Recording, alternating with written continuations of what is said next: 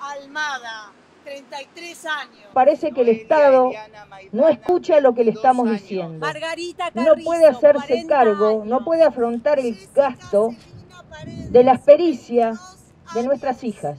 Queremos un equipo que se ocupe de las 150 mujeres muertas que tenemos hasta hoy.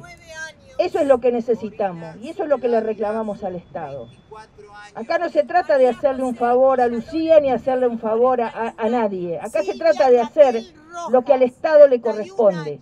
Silvina Rojas, 35 años. Nora Emilce Moyano, 73 años. Eh, queremos que el señor presidente nos, nos reciba, es la décima carta que estamos entregando. Este, y bueno, eh, necesitaremos una copia.